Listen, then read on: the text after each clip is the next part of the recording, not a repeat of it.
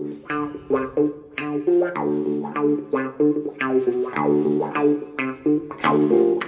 evening, sir. Good evening, how are you? I'm very well, thank you. Welcome all to Legends of the 70s, where we take a trip down memory lane and revisit those halcyon days of the beautiful game. And if we find a tavern, we'll drop in and raise a glass or two.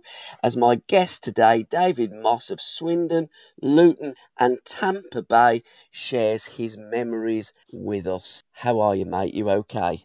Yeah, very good, thank you. Yep, looking forward to this. Absolutely. First of all, David, um, you were born in 1952 on the 18th of March. I want to know Thanks, about. thanks for reminding me. yeah, the years just fly by. It didn't seem five minutes till we were watching you on Match of the Day in that wonderful, iconic Luton Town kit, um, scoring all them goals and scoring goals at St Andrews as well.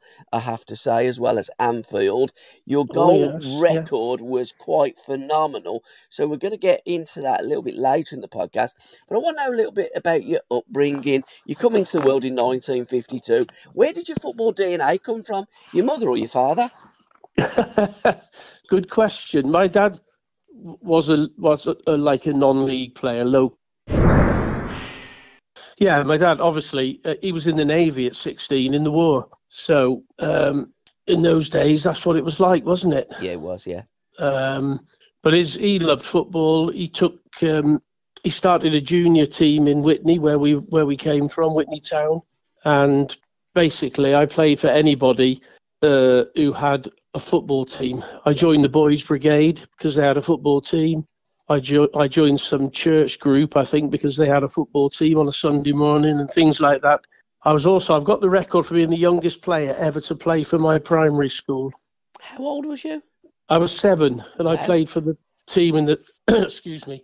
Obviously, the team was um, 11 and under, Yeah. So I was very young. But I, I understand somebody did tell me that record still stands. Probably because they don't play football now. No, but that is very young because anybody that's played football and, and knows the age groups. We, in the old days, we played under 11s, under 12s. Now they play the small sided games. But to Yeah. play for the fourth years, really, when pretty much you were a first year, that is Yeah. unbelievable. Yeah, it was good, good times because. I can remember when we played. We played during school time, so maybe on a Wednesday afternoon, and the whole school would be around the football pitch when we played another local Oxfordshire team. So yeah, it was lovely. I can remember it very clearly. And then progressing through the ranks, going to the senior school, um, well, junior school, then senior school. Did you play for the, the, the district or the county? What was did, the yeah. next stage for you? Yeah, it was. I went to a grammar school actually, which was a non-football grammar school. Right. It was a rugby school, but because of my football links, I was playing every Saturday and Sunday. I was selected for the Witney and District team, and then consequently, it led to the playing for the county Oxfordshire schoolboys at sort of 14, 15. Um, and then and then I went. I was playing for Witney Town when I was 14, which Yeah. was a senior. It, it's in the Hellenic League. I don't know if you've heard of the Hellenic League, but No, it's, a, it's a very good, strong league down south. Hmm. Um, a physical league, and and I was playing. First of all, I trained with them when I was 14, and I played for the first team when I was 15. Yeah. So I, so I did start very young in all all the sort of teams and groups that I played for. I was the youngest player. Again, that's quite incredible for a young 14, 15 year old kid to be playing adult football. How did that complement the district and, and your Sunday team, etc., and, and what have you, playing for men's sides? Um, it made it. I shouldn't say easy, but it made it Yeah. slightly easier. Yeah. Because the, the obviously the men's football in those days was very physical. Mm. Um, but I loved playing for the for the district and the and the county, and we had some good players. Um, and it was good times, you know. But I I can remember playing four times at a weekend: Yeah. Saturday morning, Saturday afternoon for Witney Town, Sunday morning, Sunday afternoon for different teams. Um, so we didn't care then in those days about um, tiredness or anything like that. We were we were young and fit. So was you scouted up from the county games? Because you know when Yeah. you're playing county games, there's scouts all over the place, and it was Swindon or Oxford that you could have gone to. You chose Swindon because they were your boyhood club, wasn't they? Yeah, yeah, that's where. Even though we lived closer to Mhm. Oxford, uh, my dad used to take me to Swindon most weekend. Well, when we could, I went to all the midweek games and stuff. But if I wasn't playing, we would go to Swindon.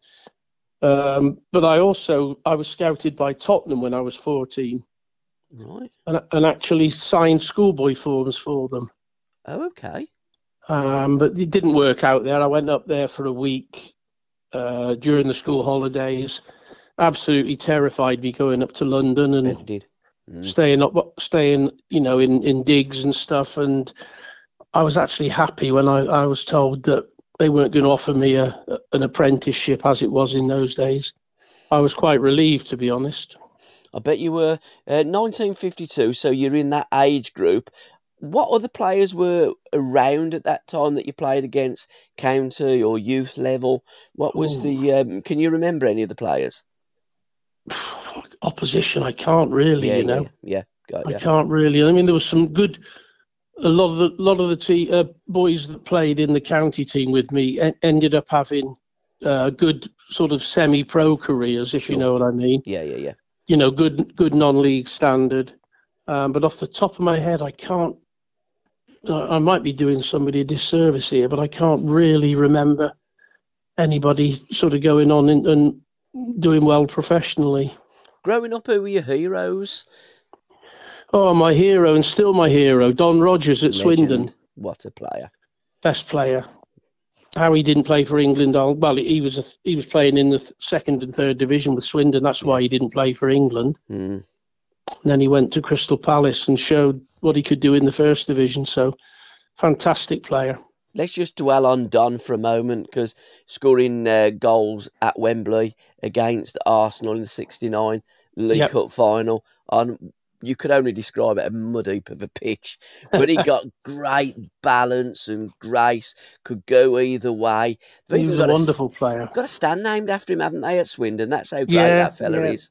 Yeah, he's a legend. And I mean, it's 1969 when they won the League Cup. Mm. Also got promotion that year from Yeah. the third division. That was the year I signed. What So was it? 1969, I signed professional at the end of the season that they'd won promotion and won the League Cup. So those those lads in that dressing room were still my heroes. Let's have a name So that was strange. of some of the players that played for Swindon Town and won promotion and that cup. Yeah, I can tell you the the winning team at Wembley for the League Cup: Go on. Downsborough, Thomas, Trollope, Butler, Burrows, Harland, uh, Heath, Smart, Smith, Noble, Rogers. Was that the That, great? that was Was that the great. David Noble that went on to play for Burnley? no Oh, okay. Peter. Noble. Yeah, Oh, Peter blimey. Noble went to Burnley. Okay, yeah. Sorry, yes, Uh, Peter Noble. He got. yeah. He, he was um, a bald-headed lad, wasn't he? Yeah, yeah, Yeah. brilliant, brilliant player. Yeah, that's the one. Yeah. uh, Don Rogers, Roger Smart, John Trollope, who's one of my heroes and, and a legend. Uh, John played nearly a thousand games, I think, Yes. and only one club. So Mm. spent all of his life at Swindon as player and coach and assistant manager and manager and goodness knows what else. So all heroes of mine.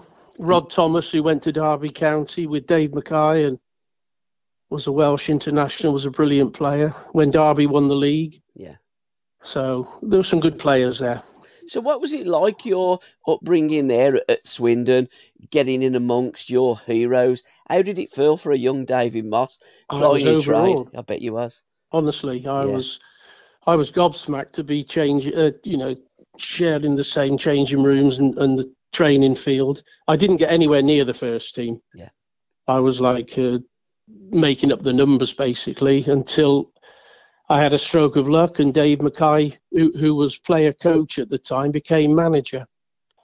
And um, he, he he must have seen something in me that that he liked in training, and then he had me training with the first team and started involving me in, as a substitute and that when I'd basically been nowhere near the first team.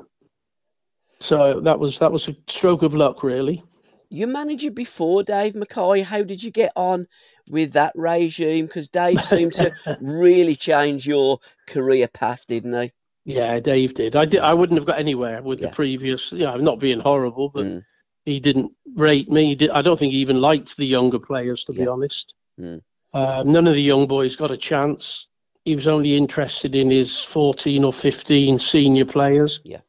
So we just made the numbers up. I played for the reserves. I started scoring goals and, um, you know, doing what I had to do basically. And um, Dave obviously saw something that he liked, and that was the beginning of it, really, for me. Rolling on 50 years, we don't have reserve team football, but that was or must have been so instrumental in your development playing against seasoned pros that maybe have injured and were coming back to fitness and playing in those reserve team games. That was a great learning curve Yeah. for me. Well, any young player, because you, you played on a Saturday or a Tuesday. Uh, when your first team was away, you played on the main pitch and Yeah. main stadium. So I was at 17 playing in the reserves, and we were playing at White Hart Lane in Highbury and and West um, West Ham, you know, um, uh, Birmingham City. Right. They were in the football combination at the time. Cardiff Yes, we. City, uh, Chelsea. So it was it was great experience. Crystal Palace. You know, you're playing at all the first team gr- uh, grounds, so it was lovely. Because there was two leagues, wasn't there? There was the football combination that you've just alluded to. My team, Birmingham City, were in that, and then Aston Villa were in the uh, the Central The- League, wasn't they? Yeah, that was it. Yeah, yeah. Mhm. Central. There was a yeah Central League. That's right. Yeah, which in, included the Manchester clubs, and Yeah. so I think Birmingham are just slightly south of the border, allegedly. I think what happens, it's making up the numbers, isn't it? So you kind of, Yeah. if you're in the Midlands, you can either be in one or the other, I suppose. Like, you know, Yeah. that they have north and south. In the middle, you can be in either, depending on what numbers that you've got of northern teams or southern teams. What was your greatest memory from reserve team football, and what was your greatest thing that you picked up from plying your trade on those pitches with those players? Um, I think learning to cope with the physicality of it, the verbals from, you know, good old seasoned pros who were maybe coming to the end of their careers and threatening to break your leg if you went past them. And Was that Tommy Smith? people, I wouldn't say it was Tommy, but people like that, you know, yes. would say, you, you go past me once, I'll give you that one, son, but you do it again and I'll snap you in half. So that was the sort of thing you had to put up with. It was an eye opener for, you know, I, I played for Witney Town. I came from Witney, which is a small town in Oxfordshire, and it opened my eyes to things really. But yeah, I think, I think the, the reserve football was real football. Where, whereas nowadays I have my doubts that it actually Mm. prepares young players for first team football. No, I absolutely agree with you.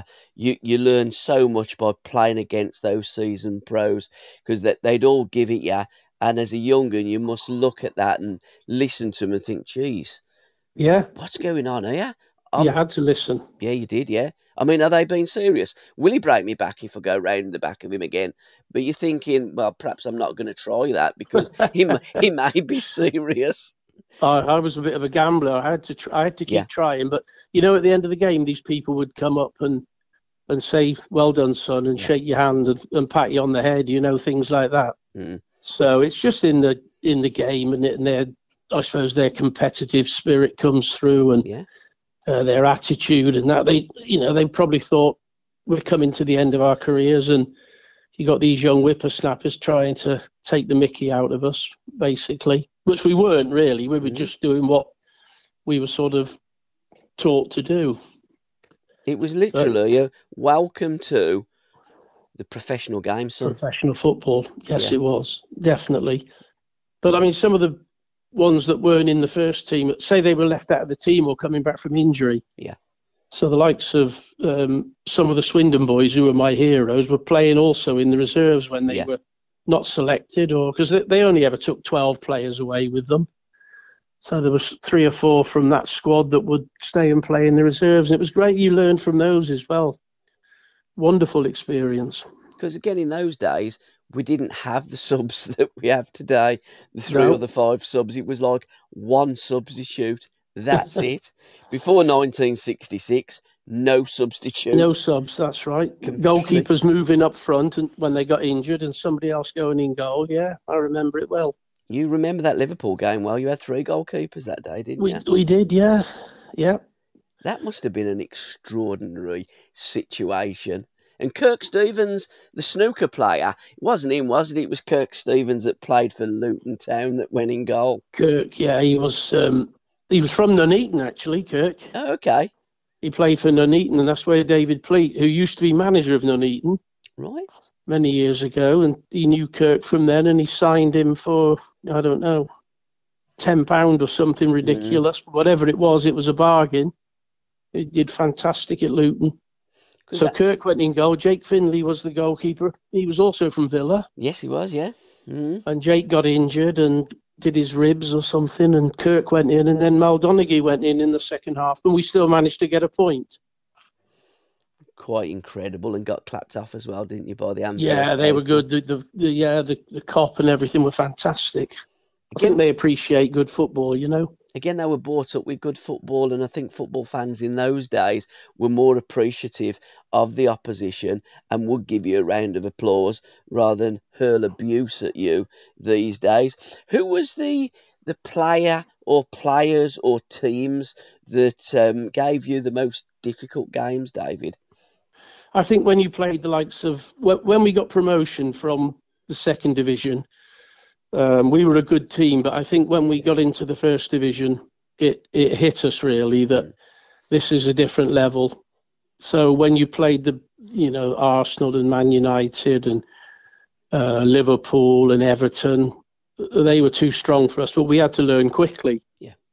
And we had a manager who could see this, and he strengthened the team with three wonderful signings, which Peter Nicholas, Mick Mick Harford, and Steve Foster, the heart of the team, the spine of the team, and that kept us up basically Three. because we were getting bullied. We were getting bullied by you know good players and top teams, and we would have gone down without those lads. Three hard players as well. Very Tough hard, players. weren't they? Yeah, a bit of experience as well, Yeah. but all good players. They could all play. Who gave you your most difficult game, or what team did you?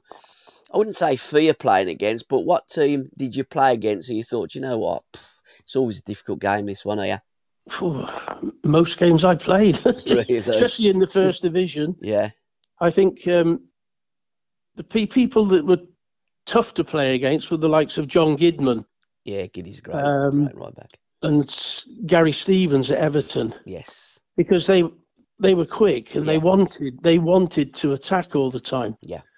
You know, they wanted to go on the overlap, and it was, oh my God, this is a bloody nuisance. They used Yeah. to run past me, and I'd get a rollicking because he's run past me. And t- players like that gave me more problems than the ones that were just, you know, just defenders, basically. The ones that wanted to keep bombing on and and, and attacking and annoying me. and and I, But you stepped up a level, you see, when you played against those teams in the first division.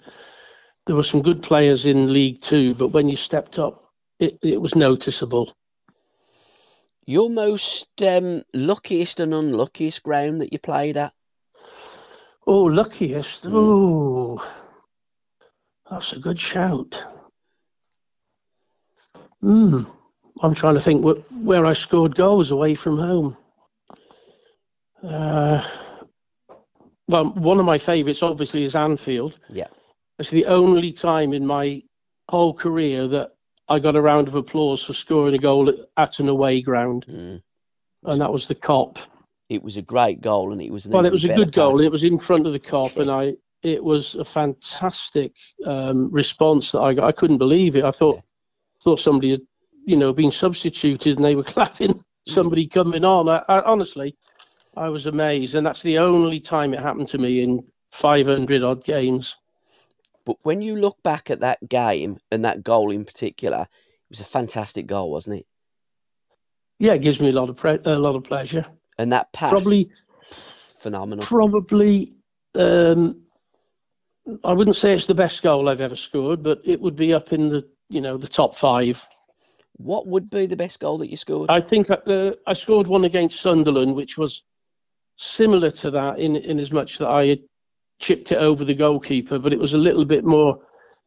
I had two or three defenders in in front of me, Yeah. so I had to sort of ma- manipulate the ball a little bit and just move it half a yard to give myself a little bit of room to clip it over, and it it went, it sailed over the goalkeeper into the top far corner. So I think that would probably be up there with my best.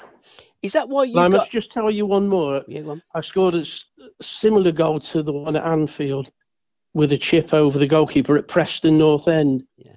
And David Pleat said to me after the game, Tom Finney said, I really like your number 11. Ooh.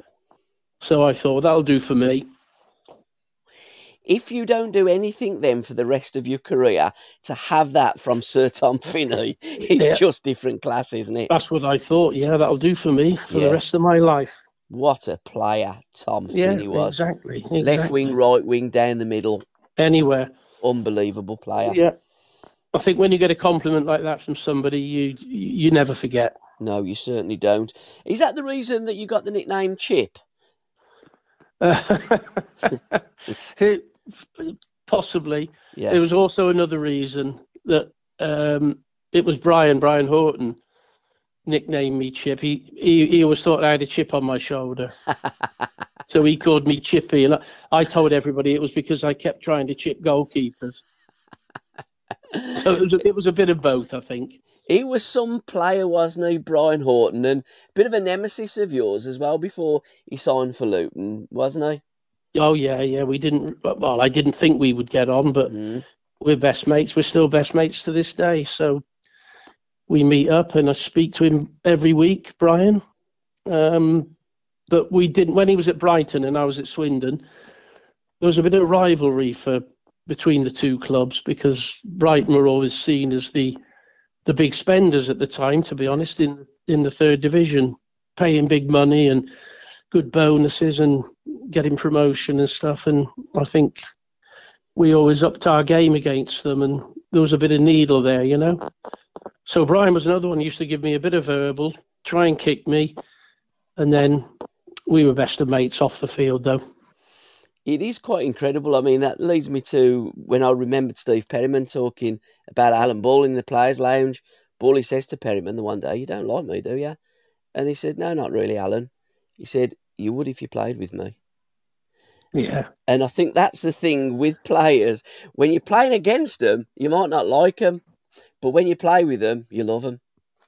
Exactly. I mean, Brian came to. I was in America when Brian signed for Luton, and David Pleat rang me, and because I knew I was going back to Luton after I'd finished the season in Tampa. Yeah. And David said, um, I've signed a new captain for this season. I said, Oh, who's that? No, Brian Horton from Brighton. I went, Oh dear, we don't get on. he said, Really? I said, So I told him the story that I've just told you. And uh, he said, You'll be fine. And yeah, we when when I went in to train for the first time after I got back from America, Brian was there and we shook hands, had a chat, and we've been mates ever since. Fantastic. He gave me my first coaching job in football. And I stayed with him for over 20 years as coach and assistant. So we're good mates, great mates. What was Pleaty like as a manager? He always come across as a really terrific guy and produce a great team at Luton Town. He, he was an excellent coach, Yeah. excellent coach. And David was all geared for entertaining football. Yeah.